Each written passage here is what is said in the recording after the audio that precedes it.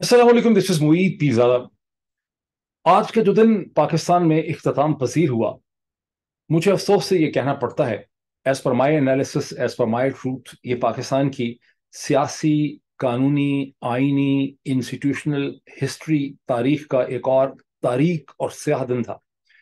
क्यों ये स्याह और तारीख दिन क्यों था? क्या इसलिए था कि इस्लामाबाद में सूरज नहीं निकला, लाहौर में कराची में, कोयटा में, पेशावर में, गुजरावाला, फैसलाबाद में सूरज नहीं निकला, स्याह बादल छा चुके हैं। यकीनी तौर पे ऐसा नहीं था। लेकिन आसमान पे सूरज निकलने में और दिलों में और जहनों के अंदर जो तारीख साए होते हैं, उनमें बड़ा फ़र्क है। तो पाकिस्तान के अंदर जहनों की जो तारीखी है, वो मुझे बढ़ते हुए नज़र आती है और आज के दिन में जहाँ मैं देखता हूँ कि पाकिस्तान के सुप्रीम कोर्ट ऑफ़ पाकिस्तान के future honourable chief justice of Pakistan जनाब काजी फायज ईसा साहब इस वक्त जो सीनियर प्यूनी जज हैं जिन्हें 16 सितंबर 2023 को chief justice supreme court of Pakistan बनना है आ, उनको वो वहाँ पार्लियामेंट में मौजूद थे एक डिवाइडेड पोलराइज पॉलिटिक्स में पार्लियामेंट में जिसके अंदर सुप्रीम कोर्ट ऑफ़ पाकिस्तान के ऊपर हमला किया गया जहाँ सुप्रीम कोर्ट पाकिस्तान का कंटेम्प्ट किया गया। और कंटेम्प्ट वो नहीं होता जहाँ गालियाँ निकाली जाएँ। कंटेम्प्ट कानून में वो होता है जब आप एक अदालत के अहकाम उसकी इंस्ट्रक्शन और उसके ऑर्डर्स को मानने से इनकार करते हैं। दर हकीकत यह है कि आप कानून को मानने से इनकार करते हैं बिकॉज़ अदालत कानून की तशरी करती तो मैं इसे पाकिस्तान की तारीख का एक स्याह दिन कहता हूँ। इसकी जो पॉलिटिकल कंपोनेंट्स हैं, टुकड़े हैं कि क्या हुआ, उस पर मैं फिर आता हूँ। थोड़ा सा मैं इसका एक कॉन्टेक्चुलाइजन और कंटेक्चुलाइजेशन जो है, वो मैं आपके सामने रखना चाहता हूँ कि मैं इसे क्यों एक तारीख दिन कहता हूँ? बिकॉज़ पाकिस्तान की तारीख के इस पैराहे में, आज के दिन में अल्फाज अपने माना खो चुके हैं। Words have lost the meaning इस जुमले के ऊपर बार बार गौर कीजिए। Words have lost the meaning अल्फाज अपना माना खो चुके हैं। यहाँ कोई अल्फाज नहीं है जालिम और मजलूम के दरमियान डिफ्रेंशिएट करने में। यहाँ कोई अल्फाज नहीं है हक और बातल के दरमियान डिफ्रेंशिएट करने के लिए। सच्चाई और झूठ को आप अल्फाज से डिफ्रेंशिएट नहीं कर सकते। एक रेपिस्ट और पीडोफाइल को एक लवर से आप डिफ्रेंशिएट नहीं कर सकते। यहाँ पे रेपिस्ट पीडोफाइल और क्रिमिनल्स अपने आप को शरीफ, अपने आप को लवर और पैशनेट लवर बना के दिखा सकते हैं। अल्फाज अपने माना खो चुके हैं। ये एक ऐसी हकीकत है जो पाकिस्तान की अदालतों में भी आपको नज़र आती है, पाकिस्तान के सियासी ढांचे में भी नज़र आती है, पाकिस्तान के अखबार में भी नज़र आती है, पाकिस्तान के टेलीविज़न चैनल में भी नज़र आती है। लोगों के पास अल्फाज ही नहीं है सच्चाई को डिस्क्राइब करने के। थोड़ा सा मैं आपको इसका एक और भी इंटरेस्टिंग बैकग्राउंड दूँ कि बहुत दफ़ा लंबी फ़्लाइट लेते होंगे आप में से बहुत से लोगों ने लॉन्ग फ़्लाइट ली होगी जो अबू धाबी से, या इस्तंबुल से चलती है खास करके जो अबू धाबी से चलती है, या दुबई से चलती है और वो अमेरिका में लैंड करती है, ये 16-17 घंटे की नॉन स्टॉप फ़्लाइट होती है। मैंने देखा, मैंने बहुत दफ़ा ये फ़्लाइट ली है। तो जब मैं ये फ़्लाइट लेता था, मैंने देखा कि अक्सर लोग जो हैं, वो इस फ़्लाइट में खाना खाते हैं, बहुत अच्छा फ़िल्में देखते हैं सो जाते हैं, आँखों के ऊपर कैप्स लगाते हैं और उनकी कोशिश भी होती है कि इतनी लंबी फ़्लाइट जो है बोरियत होती है, ये गुजर जाए, सोए गुजर जाए, या फ़िल्में देख के गुजर जाए, या एयर होस्टेसों को देख के गुजर जाए, किसी तरह से। लेकिन मैं जब भी ये फ़्लाइट लेता हूँ और इस किस्म की जो भी फ़्लाइट लेता हूँ, जिसकी कोई भी घंटे से ज़्यादा की फ़्लाइट होती है, मेरे पास बड़ा रीडिंग मटेरियल होता है। एक ऐसी ही फ़्लाइट में जहाँ मैं अपने किंडल के ऊपर रीडिंग मटेरियल था, मैं जे आर आर टॉलकिन का जो नॉवल है the Lord of Rings Lord of Rings वही नॉवल जो 1955 में लिखा गया, जिसके बारे में कहा जाता है और जिसके बारे में बहुत सी स्क्रीन एडेप्टेशन जिसकी हुई हैं। इस पर फ़िल्में बनी हैं, एक से ज़्यादा डॉक्यूमेंट्रीज बनी हैं, इसको बहुत ज़्यादा अंग्रेज़ी अदब के अंदर डिस्कस किया गया है। और इसे कहा जाता है कि बीसवीं सदी का जो लिटरेचर है, अगर आपने लॉर्ड ऑफ़ रिंग्स नहीं पढ़ा तो फिर आपने बीसवीं सदी के लिटरेचर के ऊपर आपका रिव्यू जो है, वो कंप्लीट नहीं हुआ। It is one of the most hundred most जो इन्फ्लुएंशियल किताबें हैं। बासर किताबें हैं उनके अंदर इसका शुमार होता है।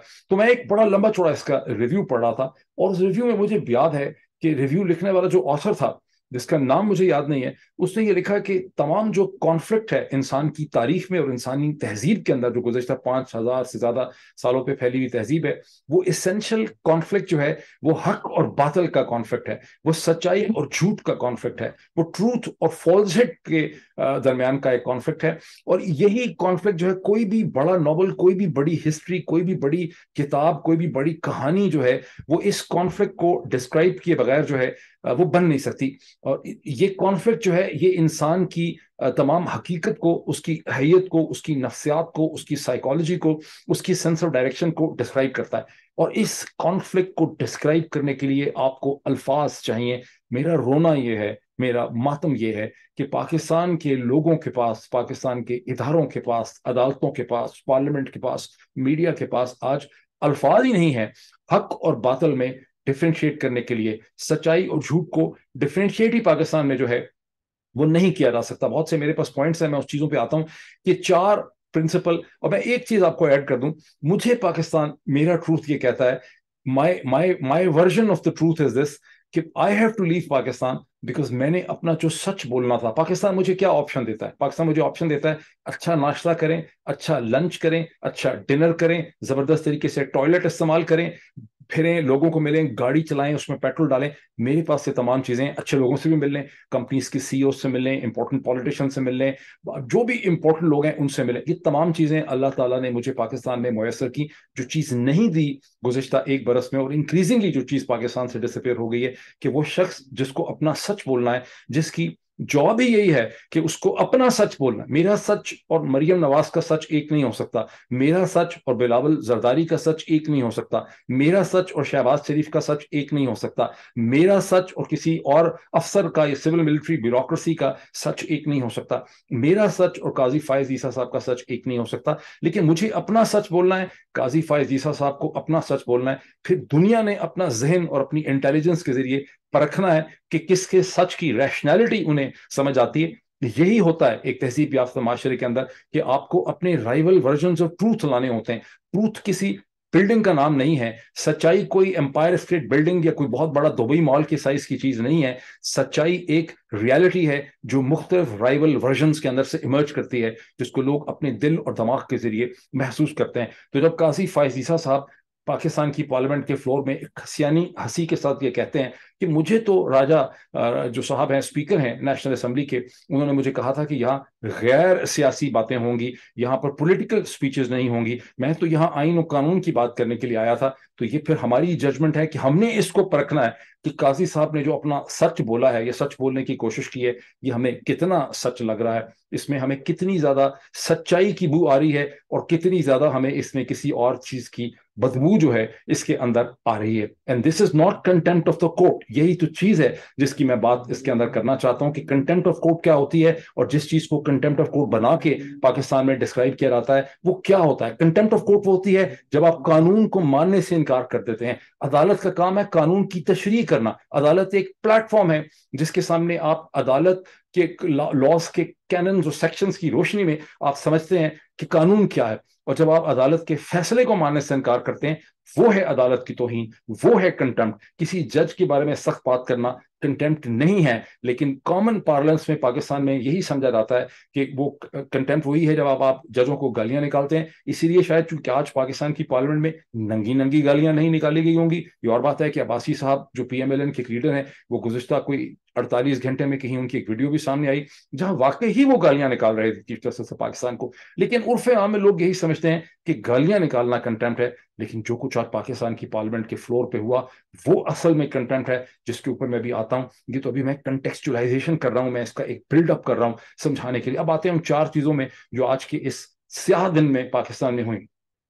यानी एक तो मैंने शायद ज़िक्र कर दिया है कि पाकिस्तान के आइन ही की आज गोल्डन जुबली थी पचास बरस से, और पाकिस्तान ही के आइन ही को इस्तेमाल किया गया है आइन ही को अंडरमाइन करने के लिए। यानी आइन ही का लफज कॉन्स्टिट्यूशन ही के लफज को कॉन्स्टिट्यूशन के ऊपर ही जो मिसाइल मारा जा रहा है, उसके लिए उसी को इस्तेमाल किया जा रहा है। ये है जहाँ अल्फाज अपने माना खो देते हैं। Words have lost the meaning and all relevance in the context of Pakistan चार चीज़ें जो होती हैं उसमें काजी फायज ईसा साहब का एक डिवाइडेड पार्लियामेंट में जहाँ ऑपोजिशन नहीं है, इंतहाई पोलराइज सिचुएशन में उसके फ्लोर में मौजूद होना पार्लियामेंट के अंदर सुप्रीम कोर्ट के हुक्म का, जहाँ सुप्रीम कोर्ट ने कहा कि आप इलेक्शन कमीशन ऑफ़ पाकिस्तान को 21 बिलियन रुपया दें, जिसमें से 10 बिलियन दिए गए हैं, बाकी 11 बिलियन देने हैं, लेकिन उस फंड्स को लेने में फेडरल कंसोलिडेटेड फंड का बहाना करके पार्लियामेंट के अंदर जॉइंट सेशन के सामने एक बिल इंट्रोड्यूस किया वज़ीर खजाना जनाब इसाक डार साहब ने। ये एक डेवलपमेंट हुई है, जिसमें तेरह तारीख तक तो एडजोन कर दिया गया है पार्लियामेंट के सेशन को। तेरह तारीख तक कहा गया है कि अपने कमेंट्स लेके आए, फिर वो सेनेट में पहुँचेंगे, चौदह तारीख को फिर देखा जाएगा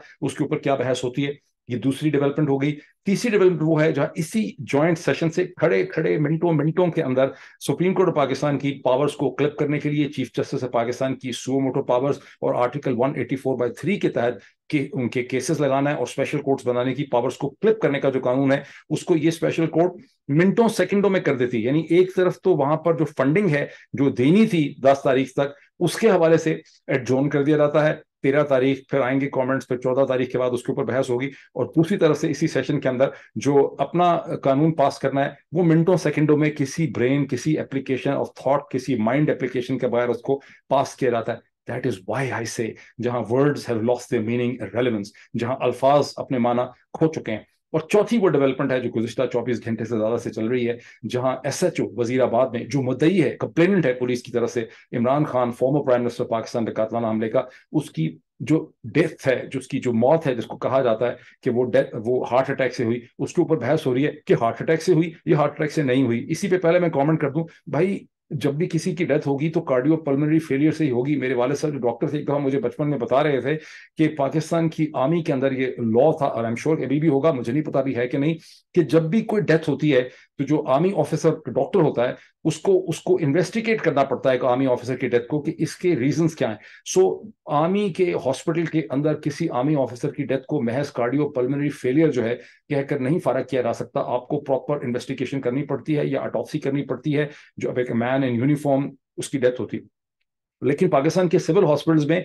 लिख दिया जाता है कि कार्डियो पल्मोनरी इसकी मतलब फेलियर हो गया उसकी उसकी डेथ हो गई। ज़ाहिर है डेथ होगी तो हार्ट फेल तो हो गई हार्ट या ब्रेन उसका लंग्स तो फेल होंगे ही कार्डियो पल्मोनरी फेलियर तो भाई होगा ही। उसके उसके उसके फेफड़े, उसके लंग्स, उसका दिल काम करना तो बंद कर ही देगा जब उसकी डेथ होगी। लेकिन हुआ क्यों? उसका कॉज क्या है? अमेरिका के अंदर मुझे ये पता चला है कि अगर घर में किसी की भी डेथ हो जाए, का फैमिली सर्कमस्टांसेस में हो तो ये चीज़ नहीं चलती कि फैमिली अटॉक्सी नहीं करना चाहती इन्वेस्टिगेशन नहीं करना चाहती। अगर तो हॉस्पिटल में डेथ होती है डॉक्टर्स के सामने होती है, उसकी उसकी डेथ के सर्कमस्टांसेस समझ आते हैं तब तो ठीक है। अदरवाइज़ हर डेथ जो है, उसकी इन्वेस्टिगेशन होती है और बॉडी को आपको कोरोनर से या हॉस्पिटल से किसी जगह से लेना पड़ता है। ऐसा नहीं है कि आपने किसी की डेथ हो गई और आप उसको उठाएँ और जाके दफना दें कि अल्लाह खैर, सल्ला।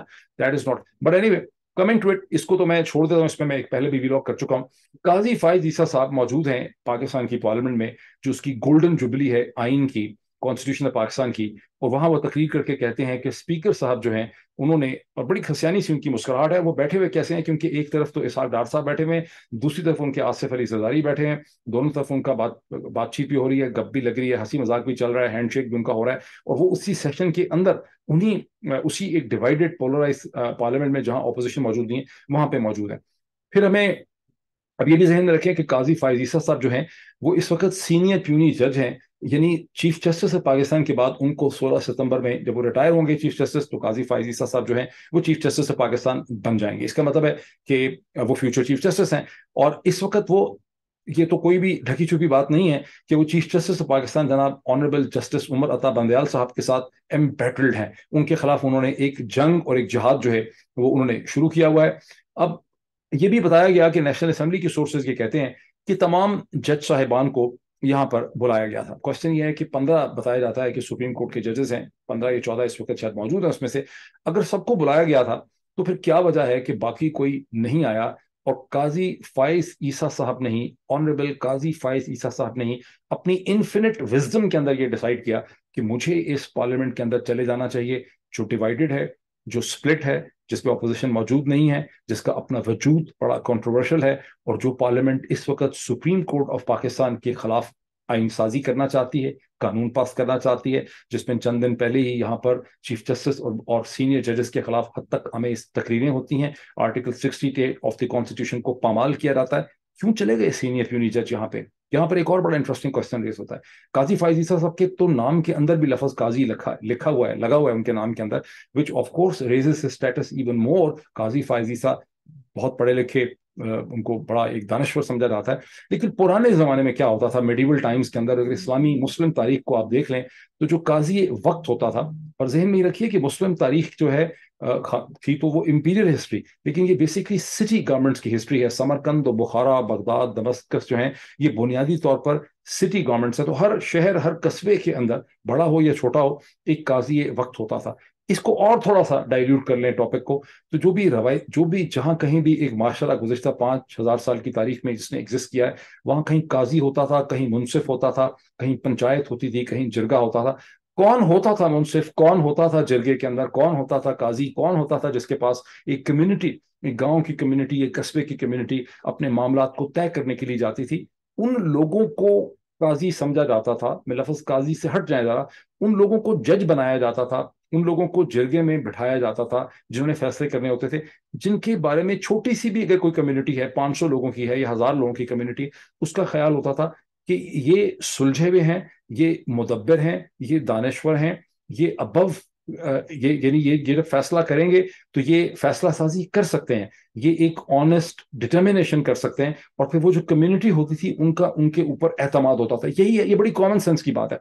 तो उस जमाने में ज़ाहिर है जज साहिबान बरतानिया और अमेरिका से डिग्रियाँ लेके नहीं आते थे, बार एसोसिएशन के मेंबर नहीं रहे होते थे, उनका एक प्रोसेस नहीं होता था हुकूमत का, उनको एलिवेट करने का। उनकी खालस्तन जो क्वालिटी थी वो उनकी होती थी द क्वालिटी ऑफ़ जजमेंट और असल में जज की क्वालिटी यही होती है quality of judgement quality of assessment अब ये सारी तमीद के बाद मैं सवाल आपसे उठाता हूँ काजी फायजी साहब द सीनियर प्यूनी जज of the supreme court of Pakistan Qazi Faez साहब going going to be the Honorable Chief Justice of Pakistan in September 2023. What kind of judgment and assessment he had? जब वो कहते हैं मुझे नहीं पता था मुझे तो पर, राजा परवेज अशरफ जैसे इंतहाई ऑनरेबल शख्स ने बताया था कि यहाँ पर सिर्फ़ कॉन्स्टिट्यूशन की जो है तकरीरें होंगी। How honest and how credible how truthful this truth is this is why I said every truth जैसे काजी साहब ने कहा, जो यहाँ तकरीरें लोगों ने की हैं, ये उनका फ्रीडम ऑफ़ एक्सप्रेशन का राइट है, वो अपनी तकरीरें कर सकते हैं।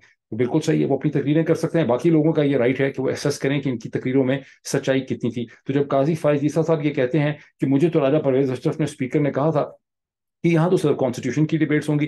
तो काजी फायज साहब किस किस्म के जज मुनसिफ हैं फैसला करने वाले? क्या फैसला साजी असेसमेंट उनकी है कि उनको नहीं पता था कि यहाँ पार्लियामेंट में क्या डिबेट होनी है? जहाँ पार्लियामेंट में बिल इंट्रोड्यूस किया जा रहा है चीफ जस्टिस ऑफ़ पाकिस्तान की पावर्स को रीडिफाइन करने के लिए suo motu special courts article 184 by three जहाँ पर इसे कहते हैं सुप्रीम कोर्ट के ऑर्डर्स की को, को रोकने के लिए यहाँ पर बिल इंट्रोड्यूस किया जा रहा है मनी बिल के तौर पर इंट्रोड्यूस किया जा रहा है। क्या काजी फायदी साहब इतने नादान हैं, इतने मासूम हैं, इतने बचपन में हैं। क्या वजह है कि उनको ये चीज़ समझ नहीं आई? और हाउ गुड अ जज ही इज़ बस इसी के ऊपर मेरा ख्याल है, बाकी आप लोग खुद डिस्कशन कर सकते हैं। इसके ऊपर मैंने पाकिस्तानी टेलीविज़न चैनल्स पे डिबेट देखी। एक से ज़्यादा एंकर पर्सन को मैंने देखा और उन्होंने पोजीशन यही ली। उन्होंने बुनियादी तौर पर कहा कि काजी फायज ईसा साहब को मौजूदा सच सर्कमस्टांसिस में जो है ऑप्टिक्स ठीक नहीं है बड़ी बड़ी तमीज बांधी वहाँ पर एंकर पर्सन ने। उनको वहाँ नहीं जाना चाहिए था। It has sent wrong message I think Aitzaz more force right लेकिन मैंने देखा ये कि पाकिस्तान में जो एक ट्रेजिडी है कि पाकिस्तान के में अंदर जितने भी टीवी एंकर्स हैं, मेरी भी यही ट्रेजेडी थी। सच तो बोल ही नहीं सकते। यानी सच बोलने, यानी सच बोलने की खातर आपको पाकिस्तान छोड़ने की ज़रूरत यानी सच बोलने के ऊपर इतनी गदगने हैं पाकिस्तान के अंदर कि डरते डरते लोग अपना थोड़ा थोड़ा सा सच बोलते हैं। ज़्यादा सच पाकिस्तान में लोग जो है वो नहीं बोल सकते। इसकी वजह क्या है? इसकी वजह मैंने कई दफ़ा आपको वीलॉग्स में बताई है। एक ऐसी कौम जिसको बचपन से बच्चों को ये बताया गया हो कि मोहम्मद बिन कासिम जो है वो इसलिए आया था अमवई जो है अमवई जो उमैय जनस्ट्री है उन्होंने इसलिए हमला किया सिंध के ऊपर, राजा देबल के साथ इसलिए लड़ाई हुई कि राजा देबल ने नाहीद और चंद मुस्लिम खातन जो हैं, उनको कैद कर रखा था। तो उन मुस्लिम खातन को रेस्क्यू करने के लिए उनका भाई एक फौज लेके आया और सिंध पे काबूज हो गए यानी बच्चों को आप हम बताते ही नहीं है कि इसके पीछे उस वक्त की इमर्जिंग एम्पायर है, जो उस वक्त दुनिया की सबसे ताकतवर इमर्जिंग एम्पायर है उस उस जमाने की, और वो अपने स्ट्रेटिजिक इंटरेस्ट के अंदर सिंध को सिक्योर करती है, अपने ट्रेड रूट्स के लिए, अपने स्ट्रेटेजिक इंटरेस्ट के लिए, अपने फाइनेंशियल इंटरेस्ट के लिए, अपनी पावर प्रोजेक्शन के लिए, वो फैलने वाली एक एक्सपेंडिंग एम्पायर बताते ही नहीं उनको, ठीक। फिर आप उनको ये बताते ही नहीं कि महमूद गजनबी का जो मैंने आपको एग्जांपल दी कि एक ही सफ में खड़े हो गए महमूद अयास आप उनको बताएँ तो सही कि आप उसको कहते हैं कि नहीं वो इस्लाम की बराबरी की वजह से आप उनको बताएँ कि भाई ठीक है। नथिंग रॉन्ग इन होमोसेक्सुअलिटी सारा ही सेंट्रल एशियन जितने भी बादशाह सलातीन और किंग थे वो सारे ही सेंट्रल एशिया थे। बाबर का भी यही मस, का मसला था मसला था यह खूबी थी वट लेकिन ये तो बताएँ कि महमूद और अयाज एक सफ में इसलिए खड़े होते थे not because of the power of Islam वो इसलिए खड़े होते थे इक्वालिटी की वजह से नहीं खड़े होते थे इसलिए कि महमूद जो था, वो लवर था अयाज का, उसने थ्रू आउट लाइफ उसको एलिवेट किया। That was a love relationship of homosexuality और फिर होमोसेक्सुअलिटी का भी लोगों को पता चलेगा फिर लोगों को पता चलेगा कि अपनी पूरी तारीख जो है, वो होमोसेक्सुअलिटी से रिडल्ड है। आपके जितने भी ट्राइबल बेल्ट है, आपके जितने भी सेंट्रल एशिया है, उनके अंदर होमोसेक्सुअलिटी बड़ी रैम्पेंट आपको पता चलेगा ये एक हकीकत है। ये कोई अमरीका से एक्सपोर्ट होके नहीं आ रही पाकिस्तान के अंदर। फिर आप उनको बताते हैं कि औरंगज़ेब जो है जिसने अपने बाप को अंधा कर दिया, जिसने अपने सारे भाइयों को मारा, अपने पूरे खानदान को कत्ल कर दिया हुकूमत करने के लिए, आप बताते हैं कि इतना खुदा खौफ था, उसके अंदर वो तो इतना डरता था, वो पूरी अपनी हुकूमत की जो रिस्पॉन्सिबिलिटी है, उसको वो इतनी डिवाइन रिस्पॉन्सिबिलिटी समझता था कि रातों को रोता रहता था कि मेरी रिस्पॉन्सिबिलिटी ठीक पूरी हो, और अपने हाथ से टोपियाँ सीसी के गुजारा करता। वैसे इतनी बड़ी मुगल एम्पायर थी which was the richest imperial order in the world लेकिन ये बादशाह जो है, ये अपने हाथ से टोपियाँ सी सी के जो है वो गुजारा करता था और रात को क्षमा जला के ये टोपियाँ सीता था। तो ज़ाहिर है कि जब, और फिर ये कि आप लोगों को ये बताते हैं कि 1965 के अंदर हमने जंग जीत ली थी, ये इसमें कोई शक नहीं है कि अफवाज पाकिस्तान के अफसरान और जवान ने इंतहाई बहादरी के साथ जो है हिंदुस्तान की यलगार सियालकोट और लाहौर में उसको रोका, उन्होंने अपनी जानों की नजराना दिया, मेजर शहीद अज़ीज़ अज़ीज़ अज़ीज़ शहीद भट्टी और बहुत से जो सैकड़ों लोग हैं, बहुत बहादरी से उन्होंने लड़ाई लड़ी। लेकिन प्रिंसिपल चीज़ यह है कि पाकिस्तान ने जंग शुरू की थी मकबूजा जम्मू और कश्मीर के अंदर जो हम बताते नहीं हैं, और हिंदुस्तान ने जब काउंटर अटैक किया तो उसका स्ट्रेटिजिक मकसद ये था कि उसने जम्मू और कश्मीर के ऊपर जो प्रेशर था पाकिस्तान का, उसको रिलीव करना था। उन्होंने काउंटर प्रेशर बिल्डअप किया। लाहौर सियालकोट को उन्होंने लेके क्या करना था? वो ले ही नहीं कभी सकते थे। इसलिए कि नाइनटीन का जो पाकिस्तान है, वो वाइब्रेंट था। वो अपने अंदर बिलीव करता था, उसके अंदर सेंस ऑफ़ बिलीफ और सेंस ऑफ़ एग्जिस्टेंस एग्जिस्ट करता था और इस किस्म की किसी कौम को जो अपने अंदर बिलीव करती हो, उसे कोई दुश्मन अपनी अस्करी ताकत से कभी भी सप्रेस नहीं कर सकता। ये हिस्ट्री का लेसन है। तो अगर वो लाहौर ले भी लेते, उसके किसी पार्ट को ले भी लेते तो उनको चंद दिनों के बाद उसको छोड़ना पड़ता। वो लाहौर को सबड्यू नहीं कर सकते थे। वो पाकिस्तान की फौज को ज़रूर शिकस्त दे सकते थे। उसकी बटालियंस को रिवर्सल में डाल सकते थे। फौजों को शिकस्त हो जाती है। कौमों को जब तक शिकस्त नहीं होती, रियासतें खड़ी रहती हैं। ये तारीख का लेसन लेकिन ये सब चीज़ें जब आप बच्चों को बताते ही नहीं है तो बच्चों को झूठ सुनने की आदत हो जाती है। उसके नतीजे में एक ऐसा माशरा और एक ऐसी कौम हमने खड़ी कर दी है जो सच से डरती है। पाकिस्तान में आज सूरत हाल ये है कि सच ऐसे ही है जैसे सूरज की रोशनी निकले और मोम या उसके सामने बटर हो मक्खन हो और मक्खन पिघल जाता है। तो सच का खौफ जो है वो पाकिस्तान के पूरे माशरे को खास करके जो हुकूमती उसका सेटअप है वो सच से बहुत डरता है। अब आ जाए कि पार्लियामेंट ने किया क्या? एक चीज़ तो ये की जिसका ज़िक्र तो मैं पहले कर चुका हूँ। कि जो ये कहा कि हमें पार्लियामेंट में जाना है, इलेक्शन कमीशन ऑफ़ पाकिस्तान को फंड्स देने के लिए, चूँकि ये फेडरल कंसोलिडेटेड फंड है, और उसमें एक बिल को इंट्रोड्यूस कर दिया है, और अब कोई इनसे पूछे, चूँकि हम सब झूठ की बात कर रहे हैं, मैंने सारी तमहीद वैसे ही नहीं बिल्डअप की, कोई इनसे पूछे कितनी दफ़ा शहबाज शरीफ की कैबिनेट इससे पहले, किसी खर्चा करने से पहले, जहाँ आपने लैपटॉप्स का खर्चा किया, या आपने आईएमएफ के साथ एग्रीमेंट्स किए, बड़ी आपने डिबेट उसकी की, या आपने यूटिलिटी की बिल्स बढ़ाए आपने नए टैक्सेस लगाए बार बार आप लगाते हैं, चीज़ें बढ़ा देते हैं यूटिलिटी बिल गैस बिजली, ऊपर नीचे सब करते रहे तो कितनी दफ़ा आप गए हैं पार्लियामेंट के अंदर डिबेट करने के लिए कि हमें ये करना है इसको ज्वाइंट सेशन में हमने डिबेट करनी है? इससे पहले किसी ने ऐसा किया? ये तो क्लियरली एग्जेक्टिव को, क्या पार्लियामेंट को हुक्म दिया है? सुप्रीम कोर्ट ऑफ़ पाकिस्तान ने अपने डिसीज़न के अंदर, या फोर्थ अप्रैल के डिसीज़न में, या उन्होंने प्राइम मिनिस्टर को और finance minister prime supreme court of Pakistan के हुक्म का अतलाक होता है प्राइम मिनिस्टर शहबाज शरीफ पे इन पर्सन सुप्रीम कोर्ट के फैसले का ऑर्डर का इतलाक होता है फाइनेंस मिनिस्टर एहसार डार के ऊपर। यहाँ ड्रामा मकर नाटक ये मचाया जा रहा है कि इसको हम पार्लियामेंट में उठा के ले गए don't know what supreme court will do लेकिन इससे यही तो वो ड्रामा मकर फरेब और फ्रॉड है, जिसकी खातर मैंने ये सारी तमीज जो है बांधी है, इसे समझाने के लिए, उसे क्लियर करने के लिए। इसको किस अल्फाज में हम डिस्क्राइब करें? मुझे बता दें कौन से अल्फाज हम इसके लिए डिस्क्राइब करें? फैसला डिसीज़न करना है मनी रिलीज़ करने का फंड रिलीज़ करने का। प्राइम मिनिस्टर ने और उसके फाइनेंस मिनिस्टर ने, उसको उठा के ले गए हैं पार्लियामेंट के ज्वाइंट सेशन के अंदर ड्रामा और ढकोसला करने के लिए टाइम बाय करने के लिए अपेरेंटली प्राइम मिनिस्टर को और फाइनेंस मिनिस्टर को कंटेम्प्ट से बचाने के लिए। और हमत अमली क्या है कि अपना जो बिल वहाँ इंट्रोड्यूस किया है सुप्रीम कोर्ट के कानून को तब्दील करने के लिए सुओ मोटर वगैरह, उसको जो प्रोसीजर बिल है, उसको फौरी तौर पर पास कर लिया ऐसे ऐसे करके। और क्योंकि वो दस दिन के बाद कानून बन सकता है और जो दूसरी चीज़ पैसे रिलीज़ करने वाली है, उसमें चार दिन की आगे की डेट डाल दी है डिबेट करने के लिए। ताकि यहाँ पर एक टाइम बैटल हो रही है गोल इनका ये है कि हमारे दस दिन बन जाएँ, हम कानून बना दें, हम जो ऑर्डर यानी आप ये, यानी ये एक बच्चा है जो पैदा होने की इसकी, इसको देखिए बड़ी इंटरेस्टिंग इसकी साइंस फिक्शन की एग्ज़ाम्पल बने ये एक ऐसा बच्चा है जो पैदा होने से पहले जो है अपने बारे में लीगल राइट हासिल कर लिए हैं इसने। ये पैदा होने से पहले अपने माँ बाप के ऊपर मुकदमा कर रहा है कि मैंने पैदा नहीं होना, या मुझे पैदा नहीं कर सकते, ये मेरी ये माँ ये नहीं होगी, मेरा बाप ये नहीं होगा। यानी उस कानून अभी जो सुप्रीम, यानी ये एक ऐसी कानून साजी कर रहे हैं पार्लियामेंट के अंदर बैठ के, जिसमें सुप्रीम कोर्ट ऑफ़ पाकिस्तान के उस हुक्म को ये तबाह करना चाहते हैं या उसके खिलाफ अपील करना चाहते हैं, उसे नल एंड बनाना चाहते हैं, जिसके लिए इनको बेसिक और जिसको जिसको इन्होंने जिसको लटकाने के लिए इन्होंने टाइम बाय करने के लिए इन्होंने एक दूसरा बिल जो है वो इंट्रोड्यूस कर दिया यहाँ पे, ठीक? मतलब ये एक, यानी बिल्कुल ही कहानी जो है आउट हो चुकी है पाकिस्तान की। पता नहीं किसी को इस, इसकी कॉन्ट्रडिक्शन की क्वांटम का ठीक तरह से एहसास हो रहा है कि नहीं हो रहा तो प्लान इनका ये कि हम टाइम बाय कर लें, चार दिन तो हमने ले लिए हैं, दस दिन हम और ले लें। अब क्वेश्चन ये पैदा होता है कि जो सारा ड्रामा ढकोसला किया जा रहा है, जिसमें कंटेम्प्ट किया क्लियरली और ये कंटेम्प्ट प्री मेडिएटेड है ऑर्गेनाइज है प्लान है, ये वो कंटेम्प्ट नहीं है, जहाँ किसी के हाथ, मुँह से, गुस्से में कोई अल्फाज निकल गए हैं, तकरीर करते हुए, वो तो छोटा कंटेम्प्ट होता है। यहाँ तो सुप्रीम कोर्ट ऑफ़ पाकिस्तान का जो वेल थॉट आउट डिसीज़न है, जिसके साथ पूरी पाकिस्तान की पॉलिटिक्स और डेमोक्रेसी नती है, उसको एक विलफुल तरीके से डिफाई किया जा रहा है रिजेक्ट किया जा रहा है कोर्ट की इंसल्ट की जा रही है कंटेम्प्ट किया जा रहा है। और ये कंटेम्प्ट के टू प्रिंसिपल कंटेमनर्स हैं यहाँ पे प्राइम मिनिस्टर शहबाज शरीफ और फाइनेंस मिनिस्टर इसाद डार बाकी सब लोग इरेलीवेंट हैं। इन दो लोगों की ज़िम्मेदारी, अब क्या सुप्रीम कोर्ट ऑफ़ पाकिस्तान कल जब लगेगी और हिसाब किताब करेगी, क्या वो इनको कंटेम्प्ट में, क्योंकि अब ये एक टाइम बैटल है। ये सोचते हैं कि हम सुप्रीम कोर्ट को दस दिनों में फारिग कर देंगे, उसकी पावर्स छीन लेंगे चीफ जस्टिस उमर अताब अंदयाल को निकाल के बाहर फेंकेंगे, हमारी हुकूमत हो जाएगी तहद क्यामत हम हुकूमत करेंगे। अब सुप्रीम कोर्ट ने कल क्या करना है? इफ़ पाकिस्तान और नॉर्मल कंट्री सुप्रीम कोर्ट को सुबह प्राइम मिनिस्टर को फारिग कर देना चाहिए। कंटेंट प्रोसीडिंग करें, अड़तालीस घंटे के अंदर प्राइम मिनिस्टर और फाइनेंस मिनिस्टर दोनों को फारिग करें और कहानी आगे चलने लग जाए। But Pakistan is not a normal country you never know Pakistan is the highly abnormal country दुनिया के जो एबनॉर्मल तरीन जगह हैं म्यांमार सोमालिया यमन इस तरह के जो चंद ममालिक हैं, बेचारे बहुत ही अफसोसनाक किस्म के ममालिक हैं। कीनिया, उनमें पाकिस्तान का शुमार होता है। तो यू नेवर नो कि कल सुप्रीम कोर्ट क्या करती है। लीगल सेंस और कॉन्स्टिट्यूशनल सेंस से सुबह प्राइम मिनिस्टर शहबाज शरीफ और इसाक डार को फारिग होना चाहिए और कंटेम्प चार्जेस को उनके खिलाफ फ्रेम होने चाहिए। होता है ये नहीं होता, ये तो देखते हैं चंद घंटों के अंदर। Thank you so much